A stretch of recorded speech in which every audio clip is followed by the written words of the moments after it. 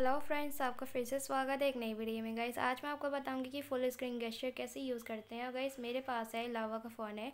और गाइस इसको navigation bar और एक सिस्टम नेविगेशन भी कहते हैं, या फिर सिस्टम गेस्चर तो गाइस इस फीचर्स का यूज़ करना बहुत ईजी होता है। इसमें ये होता है कि बैक वाला बटन लेफ़्ट एंड राइट हो सकता है। एंड यहाँ तक कि मतलब कि जब बटन नहीं दिख रहे हैं आपको, सब हाइड भी हो सकता है। सो गई बिना बटन के भी आप इसको बैक होम सब कुछ कर सकते हो। कैसे करते हैं वो बताऊँगी। तो गई सही शुरू करते हैं इस वीडियो को। गई सबसे पहले आपको सेटिंग्स का ओपन कर लेना है।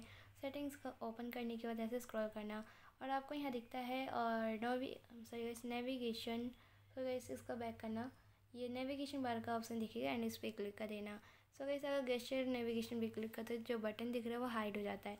फिर से की पे क्लिक करोगे तो आपको यहाँ दिखता है बटन शो हो रहे हैं। सो गाइस अगर इस वाले ऑप्शन भी क्लिक करें तो लेफ़्ट हो जाता है बटन और इस तरीके से राइट हो जाता है बैक वाला। तो इस तरीके से मेन्यू बटन एंड बैक वाला बटन चेंज होता है। सो गाइस अगर गेस्टर नेविगेशन भी क्लिक करो तो बटन तो हाइड हो गया। अब बिना बटन के कैसे बैक करोगे? तो इस तरीके से जो है देख रहा हो बैक करने का ऑप्शन होता है।